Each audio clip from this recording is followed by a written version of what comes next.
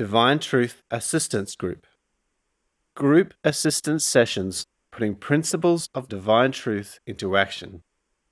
Understanding Sin and Its Causes is the fourth assistance group in the Education in Love series. In this presentation, titled Attitudes to Sin, Jesus discusses why I must examine my attitudes to sin if I wish to remove sin, God's attitude to my sin, seeing sin as my personal choice, where my attitudes to sin come from, general beliefs about sin held by most people, and then briefly summarizes some common specific negative attitudes to sin. Recorded on the 24th of February 2019 from 10:30 a.m. in Noosaville, Queensland, Australia. Well, if you can imagine for a moment that I look like Mary and I'm Mary and I'm spe- speaking a high voice. So I'm, going to be doing this particular presentation. Sorry. And I haven't got pink toenails. Mary's painted her toenails. I haven't got that. I should have done that this morning. Sorry about that. I'm sure you would have thought there was something strange with me if I had it, but funny that, isn't it? Like a man painting his toenails, it sort of doesn't seem like a proper thing, but a woman painting her toenails is, yeah. Mind you, I don't go much for any bling at all. I've never worn jewellery, makeup, or any other thing. except when some girl has decided she wanted to paint me up in private to see how I look as a girl or something.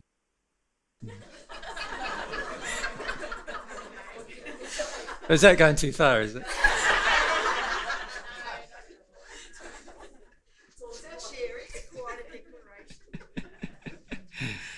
yeah. All right. So uh, this morning's presentation is going to be, as we discussed with you last night, we've decided that we might just shorten these presentations because you've got all the material in your outline. So, and it seems like, based on what we're feeling from you guys, that you've all at least read your outlines when you come along to the presentation. So that's really good. So rather than sort of uh, go through or labour points, what we want to do instead is to maybe just do some points that we feel are important to raise. And then what we'll do is we'll get to those practical questions of yours. So, this uh, particular presentation, which is Attitudes to Sin, will probably only take about a half an hour or so. And then we might just have a 10 minute break so you can go to the toilet or whatever. And also put in some questions about it. And then we'll spend the next sort of hour and a half probably on answering questions rather than the other way around rather than doing an hour presentation and an hour of questions after that. So that's our general change to the program this morning. So let's get started. Attitudes to sin. Why do we want to examine our attitudes to sin?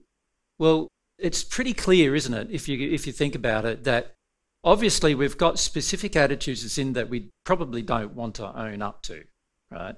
And for many of us, we like to call them fears. And to be honest, for most, mostly when we're calling things fears, most of the time they're angers rather than fears. In other words, we're using the word fear because it's society accepted, that anybody who's afraid needs to be cared for, looked after, commiserated with.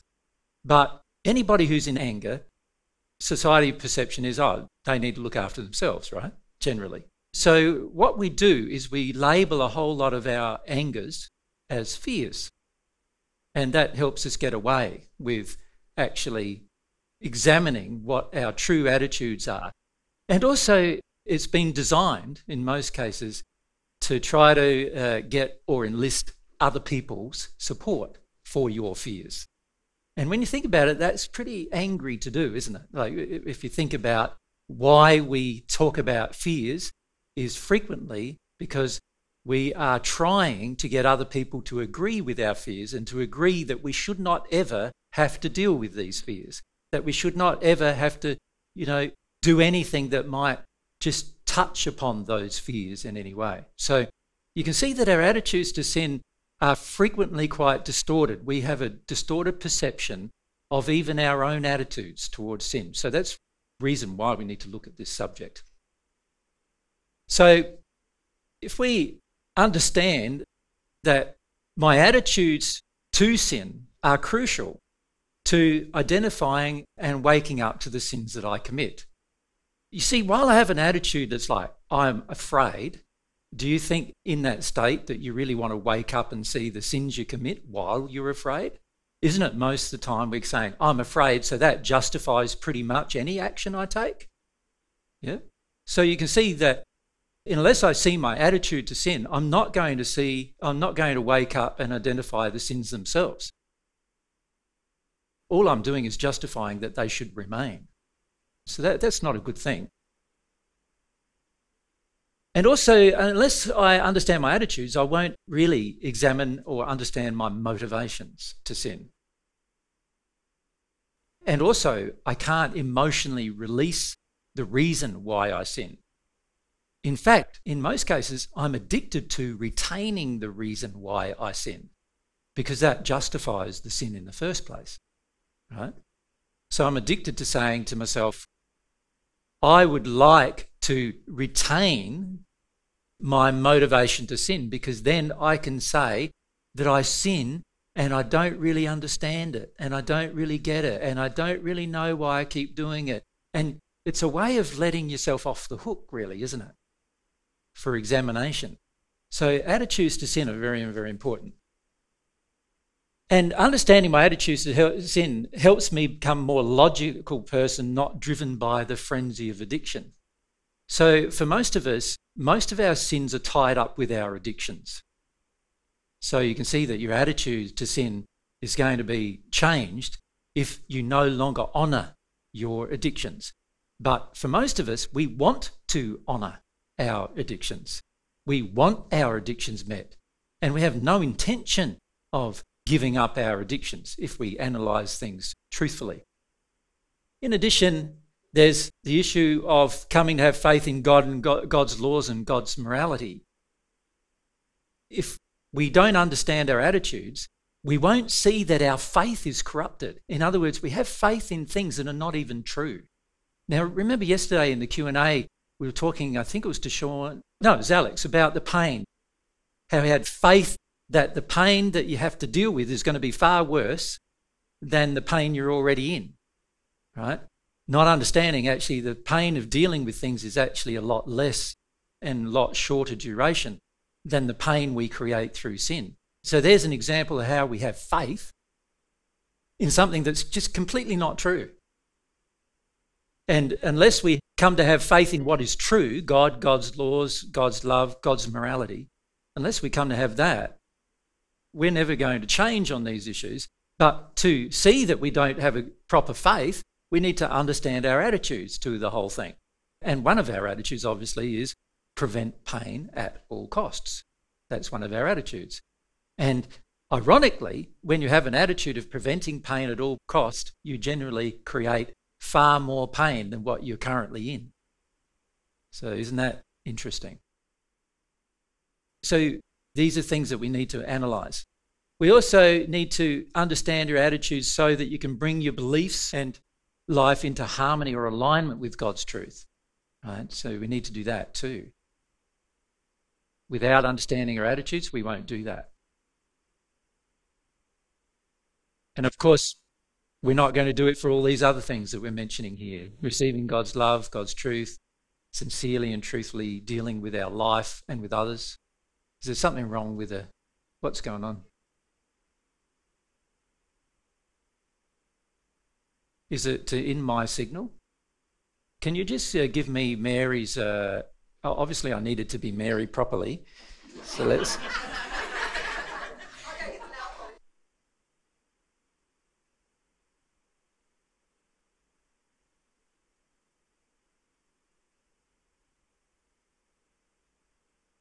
Okay, well, hopefully that new setting will do the job.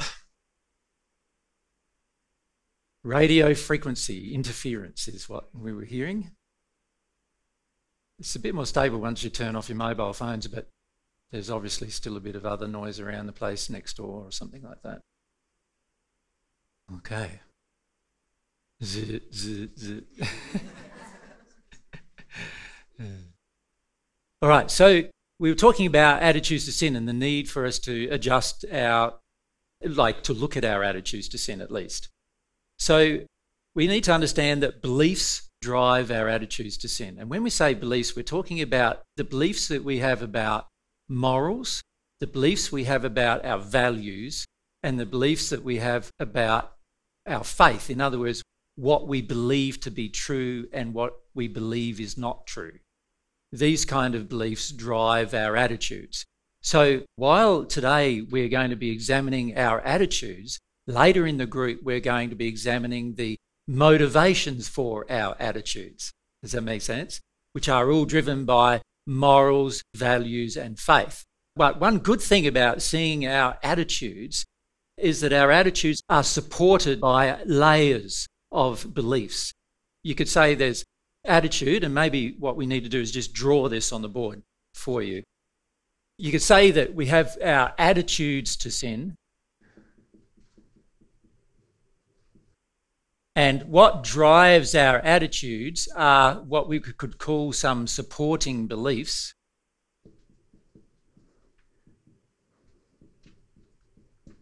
Right? And there, there could be like hundreds of attitudes we have. There could be hundreds of supporting beliefs. But primarily, there are what drives our supporting beliefs are what we could call some core beliefs. Right? And these core beliefs, there's not very many of them, in fact.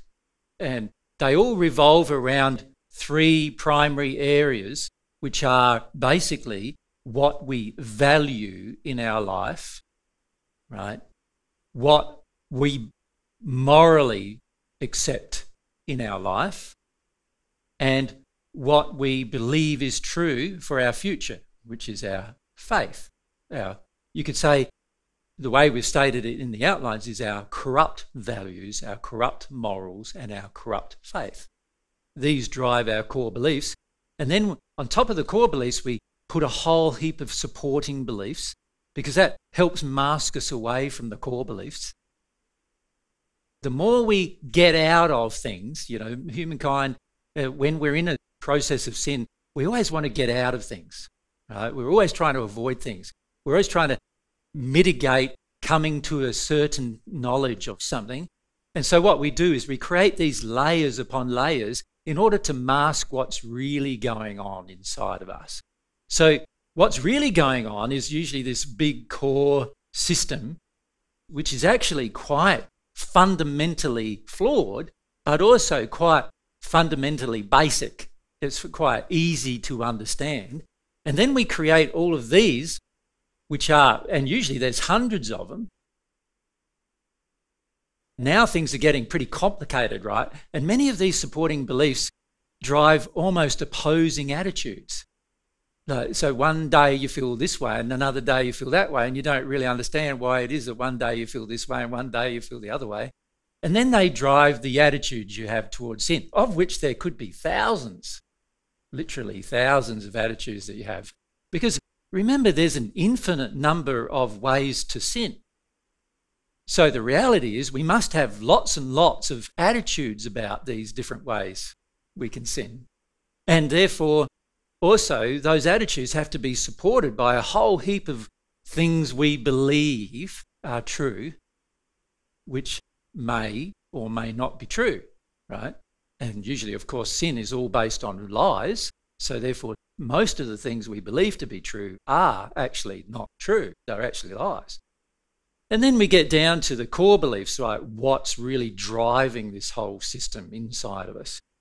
And you can see that basically what we're trying to do at this stage is say to you in this conversation, we're trying to say to you, well, if you start here and look at some of your attitudes, then you'll start seeing that your attitudes are pretty, like, they're pretty off in most cases, right?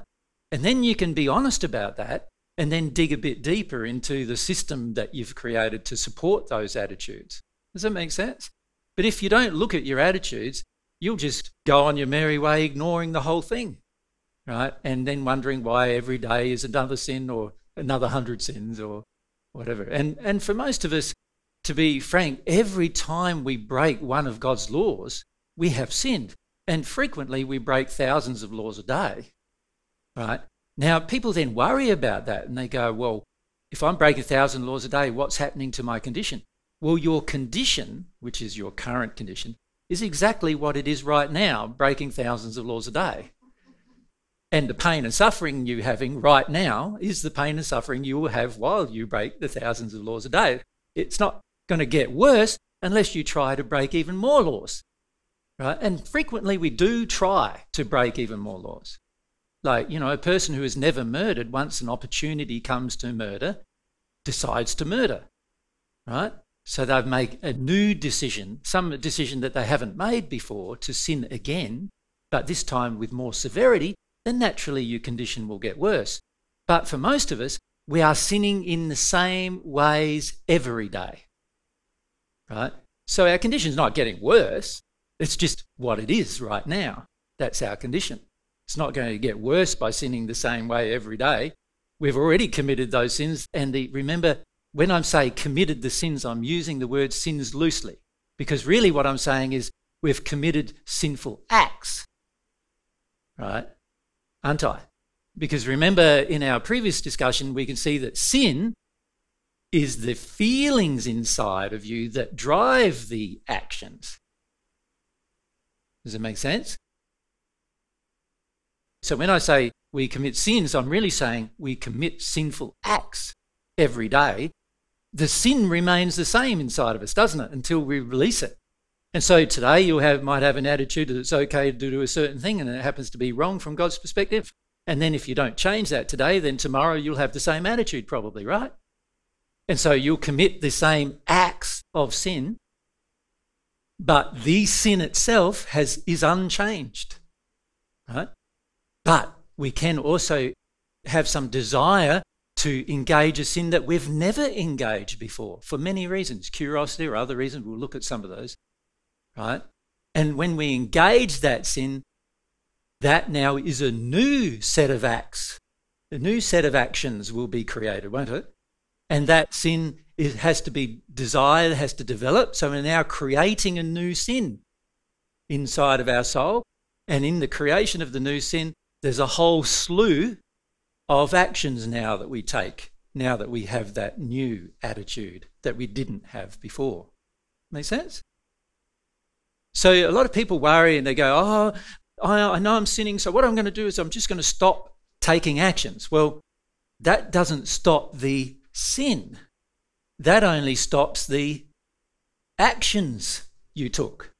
The sin still exists, and therefore the motivating force within you to sin remains. That makes sense to you?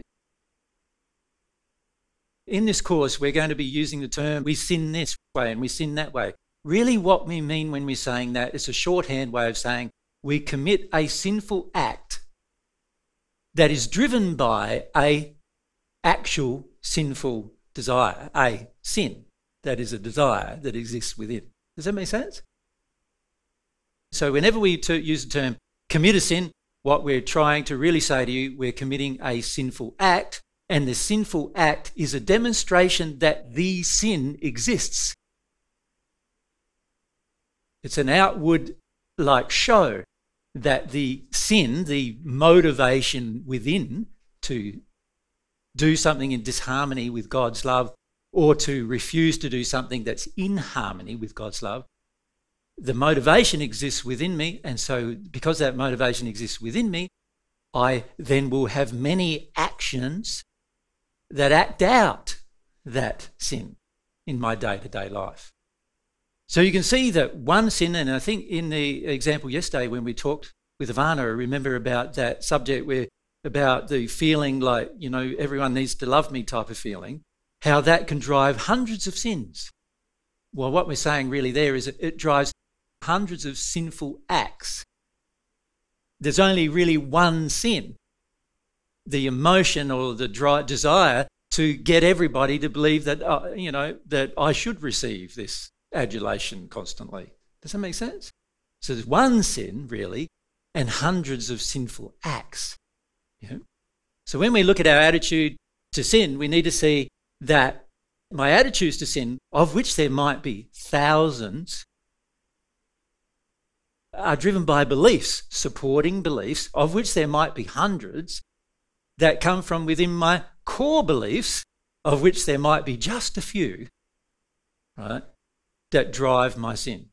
So you can see again, if we can get everything back to what are my core beliefs, you can simplify the process of undoing the mess, right? But if you focus on just your attitude and say, how do I cure this attitude without examining your beliefs? Or for most of us, what we try to do is we try to believe that our beliefs remain true while we're trying to get rid of our sinful actions, right? That's impossible because it's their beliefs that motivate the actions, right? But most of us go, no, what I believe is true. And then, why am I sinning? I can't understand. you know, well, you're sinning because what you believe to be true is not true, and you, you need to accept that at some point, right? And that's why we continue our sin.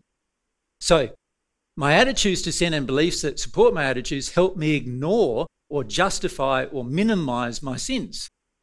So, by creating these supporting beliefs and attitudes, what I'm really doing is I'm saying, I've now got a way to justify to myself why I should be able to keep doing what I do in my day to day life. And I should keep getting away with it. Everybody should around me should keep putting up with it. And the whole universe needs to put up with me being like this because I want to be like this, really, but I don't want to even accept that that's true. I would rather go, oh, it's somebody else's fault that I'm like this. Like my mummy and daddy, you know, they did a whole lot of damaging things to me and now they're in me. And so all I'm doing is acting out what they did to me. And to be honest, that's a bunch of crap. You're an adult now, you're responsible for your decisions. God is trying to enforce responsibility through the law by giving you will.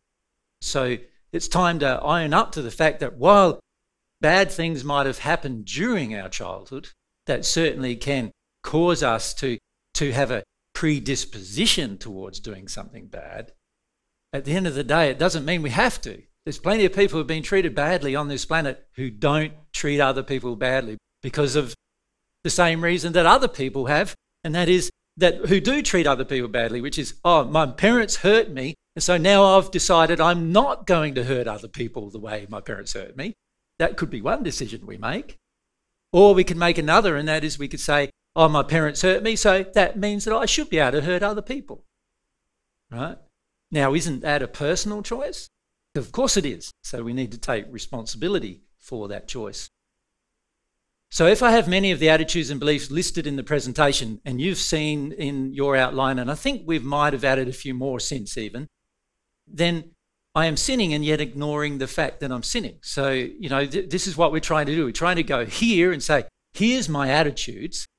If I have these attitudes, then it means that I am sinning without a doubt, even if I don't think I am. I am. Because the attitudes you have show you that there must be something going on with your sins. Make sense? So, my personal attitudes about sin and the beliefs that support the attitudes will greatly determine how much sin I engage, the amount of sin I commit daily, and the ways that I encourage others to sin. Yeah, that's why we've got to have this discussion. So, what we're going to do is we already know what God's attitude to sin is from yesterday when I talked to you about that. Remember, God is not as judgmental as you are or, or that other people are about your sins. God, God's just going, no, something is wrong or something is right. And God was also saying to you, look, my law looks after everything. Like God's not there going, let's count count her sins. All right. Uh, now she's up to 1,366. That turned her from being a marginally good person into now being a bad person. Do you know what I mean? That's not how it works. Every sin is measured mathematically by the law and responded to by the law automatically. And you could say, in some ways, the law is impersonal in the sense that it is applied to everybody equally without preference. So there's equality in the law, right? And that's the way the law works, isn't it? Gravity applies to all of us, doesn't it? Unless we engage a higher law, it does so. So that's how it is with all the laws. So we know what God's attitude to sin is. The key, for, and we'll answer a few more questions about that in, in the final presentation this afternoon, because some of you have asked more questions about that. But we need to understand that God's attitude is basically that while He loves all of His children, He doesn't love the things we do. Right? Just like sometimes if you've had children of your own and they've done some pretty rotten things, while you might still continue to love your child, you might not love the things they do. Yeah? It's exactly the same as that. Okay, so we'll just skip uh, forward. Yeah, this is where I want to go. As you can see from the discussion I just gave with regard to the setting up of all of these belief systems and so forth, that it does boil down to the fact that sin is my personal choice. It's not about predispositions or about background. And while background can certainly influence the types of sins we commit, at the end of the day, we still are adults and we can choose to release the reasons why we do things. So it's not accurate to say, oh, I have no choice now because this happened to me when I was little. And this is where you've got to be very careful about processing emotion associated with childhood events. Because if you're using childhood events to justify sinful behavior, you've yet to truly process the emotion about a childhood event. You're just in a tantrum, really, about the childhood event. Right? And tantrums can drive some pretty damaging sinful behavior.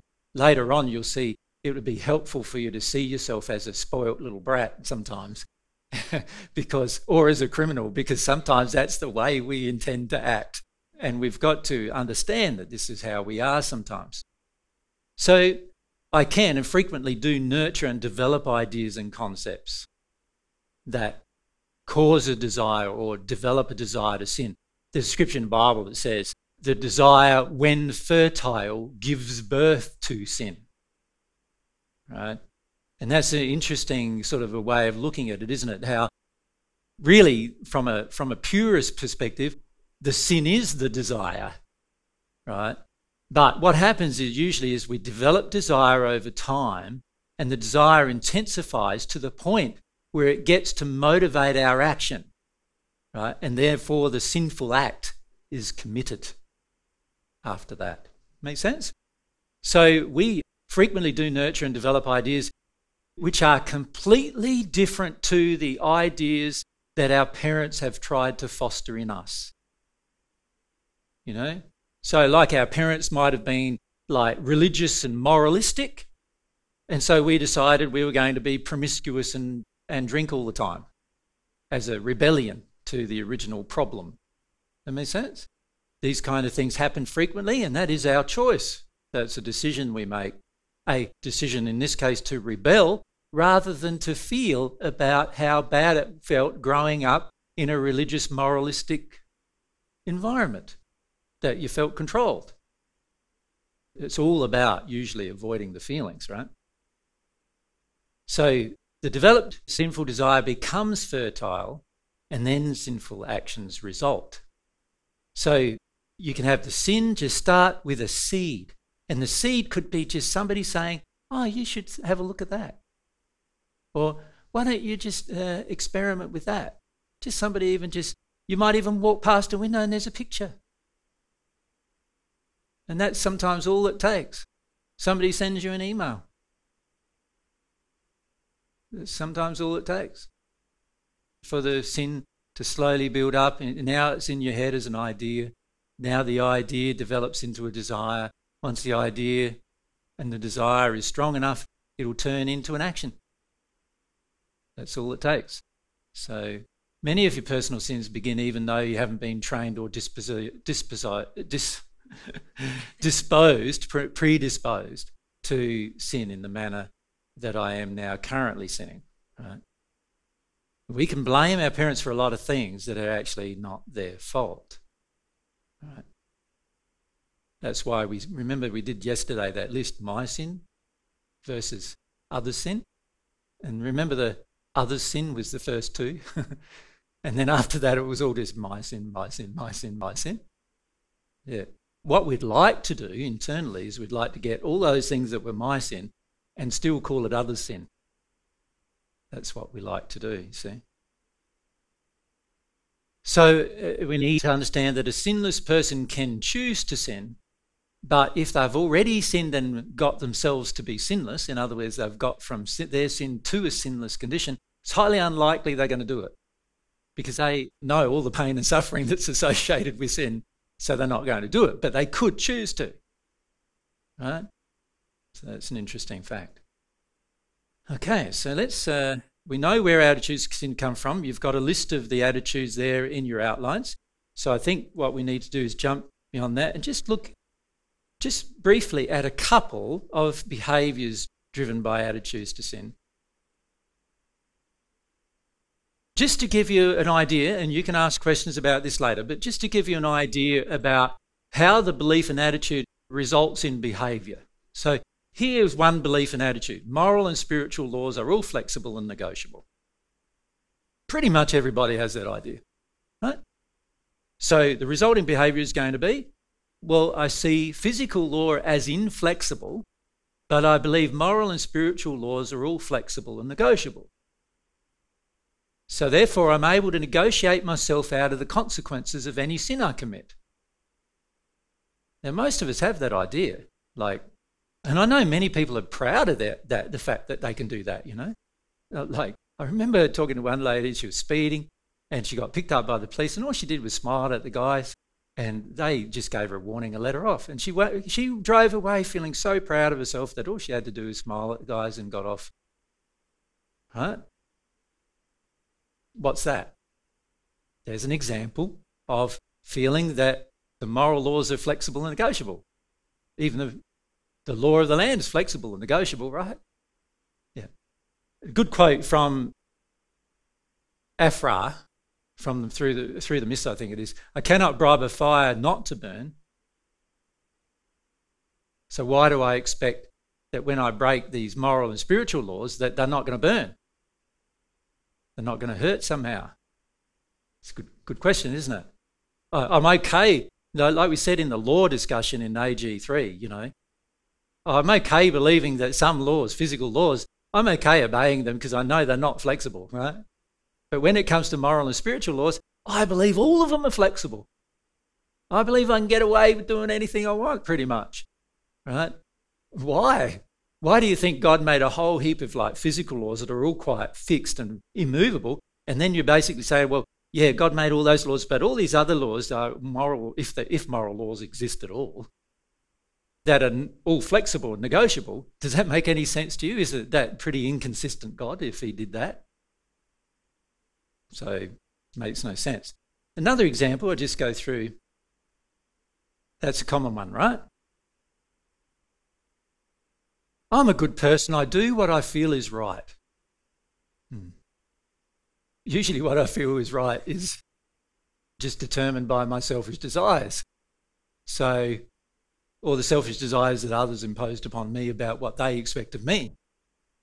So, living your life by doing what you feel is right is not very advisable if you want to stop sinning, right? But that's an, another attitude that drives a certain set of behavior. Can you see? Yeah. And you can see those relationships all throughout your notebook, can't you, with regard to the outlines that we've already given you. So, we can talk more about that in the questions.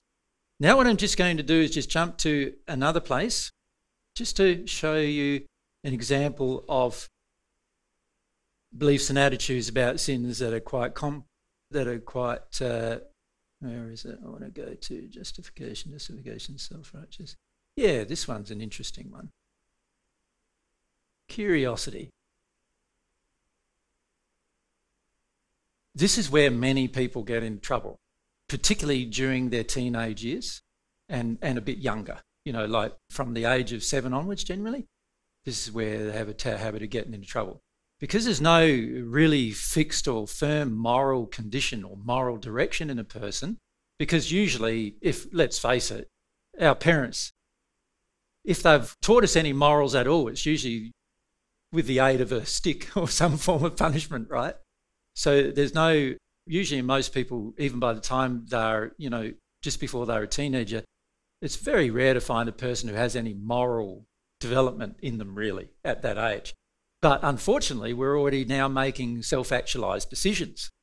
So we've got no moral development and we're making decisions, which obviously mostly are going to be selfish in nature.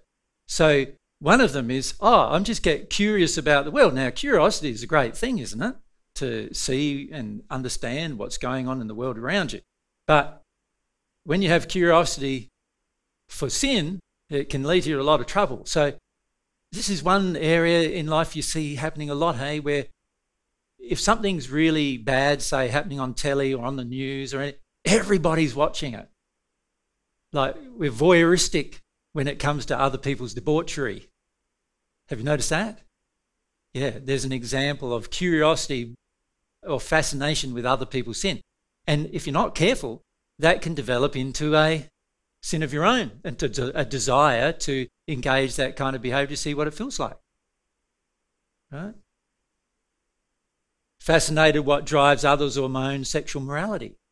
See, during the formative years after seven, eight, nine, you start to develop sexually in your puberty, and then there's a lot of curious desires that start to come up there, and many people start engaging them through curiosity, start engaging sin in that process. So by the time they're in their mid teenage years, they were already quite a lot of sin has been committed sexually because they were began being curious, but in the end had a lot of like sexual feelings associated, which felt good, and because there's no moral drive or imperative, it's done without any morality, and so you end up sinning, right? I love testing the limits of what I can get away with. It's a pretty common one, isn't it? Particularly in the Western world. But pretty much anywhere. I notice a lot of children now are like this all the time, all the time. Like little tiny children, sinning all the time because the parents have not taught them any boundaries at all. So by the time the child's four or five, they're testing the limits everywhere. Everywhere and frequently sinning quite a lot by that stage because the parents haven't given them any moral direction. Yeah. I become mesmerized and curious about how the sin will end. Like, if I take this a bit further and take this a bit further and take this a bit further and take this a bit further, you know, you see this happening a lot with things like pornography, sexual things. But you also see it happening a lot with things like money and other things like that, where you just take it a bit further. You know, like, oh, I've just got a little bit in the bank now. What I'd really like to do is develop a nest egg now, you know? So you take it a bit further and then and then you get a nice car, you know, I've been through this. You get a nice car and yeah, it's pretty sporty, you know, and I can do a couple hundred Ks up the road if I want to, you know, and break the law there as well. Oh, now, no, the car doesn't feel grunty enough anymore. Like, I've got to go and get a more powerful one, a better one, a better looking one, a newer one, a newer house, a newer boat, a newer car, a newer, right? None of which we really need, but we need it to satisfy our desires of where it will end and what it gives us at the time. We want to stay ahead of society. We want to be perceived oftentimes as a leader of society in what we choose to do, right? Oh, I've met many, many people who do this, right? Yeah. In the end, you go end up going from sin to sin to sin to sin to sin, not understanding every new sin you're creating because it's just driven by just a few basic things of having to exceed the last thing that you did, having to get better than it was before, you know. And the whole world is governed to this one. You know, why do you think they have investments in company and shares? Isn't that about this? Right? What, what's the, the values of shares for it to be beneficial to anybody have to go up. Yeah, we've got to have a gross output that increases every year. We call it growth. It's not growth. And oftentimes it's not needed. But we do it. Why? Because it's a perception that we have that everything has to keep growing. We've got to keep doing more and more and more and having more. The society has to have more in order to be, be better than it is now and so forth. Enough is never enough. Uh, these are things that drive our sin. So when you look at those things, you can see that every tiny little comment we've made in your outline, we could have a you know couple of day talk about, couldn't we? Really, in terms of what kind of attitudes and desires motivate it, and how it creates sin, and what what's driving people to do these kind of things. Honestly, you can easily go from sin to sin to sin to sin to sin without and when here I'm talking about not just the actions I'm talking about creating new desires inside of you if you're not careful because of how society perceives you how you want to be perceived by the world. There's lots of reasons why you might choose to do it. None of it is going to be beneficial to you in the long run. I've known a lot of people who pass who become earthbound because they've just in an instant lost all of their wealth and they are so tied into their wealth emotionally that they can't leave the earth. And you should see what happens to them. They become so frustrated because the people usually who receive the wealth that you've created never treat it with the same respect or seriousness that you have, right? And so what do they do? They squander it and they use it in, for all sorts of things you'd never use it for. And you, you imagine in the spirit world just getting angry and frustrated about what's that person doing, you know, and then and then these spirits start to try to punish the people for doing what they're doing with their money. You know, and it just more sin, more sin. They, they pass in the spirit world and there's still more sin, more sin, more sin, more sin getting created, more desires in them to things that they would never conceive of doing before, they're now doing because of this process that goes on where desire can just be a thought that then develops into an emotion, a motivation, and then it develops into the sinful action. yeah. So, what we'd like to do, I'll just uh, jump to, yeah. Just want to remind you these things. We need to see sin as a personal choice that can be changed or corrected. It's not something that is a given not something that is unavoidable. It is a personal choice we're making, a decision. In order to awaken a sin, I must examine my attitudes.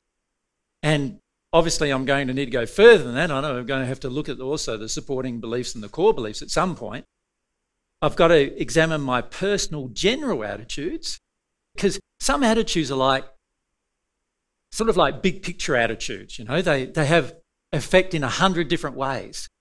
And then some attitudes are really personal, specific, like attitudes that we have that are just yours and nobody else really has them. Or if other people do have them, because you remember, nobody's ever invented a new sin really since for thousands of years. You know, it's like, you know, we've had 150,000 years of human history. Nobody's really come up with some new way to sin in that time. We've designed a whole heap of new things, and we often can sin faster or more than we could historically. You know, historically, many people couldn't sin as much because they were confined to, you know, their own mobilization through their legs rather than being able to speed in a car to the other end of the earth and do something and get away with it, right? So, you know, there's a whole ways that we sin in terms of sin more, but new sins are very rare to create a new sin that has not ever been. But we can create a new sin that's not, not ever been in us. Right? That's, that's something that we need to bear in mind. So if we can re- be reminded of those things, so when it comes now to this discussion that we have with you, what we'd like to do is uh, the Q&A is we'd like to go through some of your questions about firstly the attitudes to sin. So uh, I think Mary's signed up the box, attitudes to sin up the back. If you can put your questions in there, and I'll grab them in a few minutes' time. And, um, and then we'll go through those questions first, and then we'll have a break for sort of lunch. And then after lunch, we'll have a. Que- I've got a list of questions already that I'd like to answer from all your other ones you've already put in. And that'll be the closing of the Understanding Sin session, which will be a question and answers about the entire Understanding Sin session. So let's have a break now for 10 minutes, shall we? Come back at 11.30 and we'll get started on our Q- first Q&A. Thanks, guys.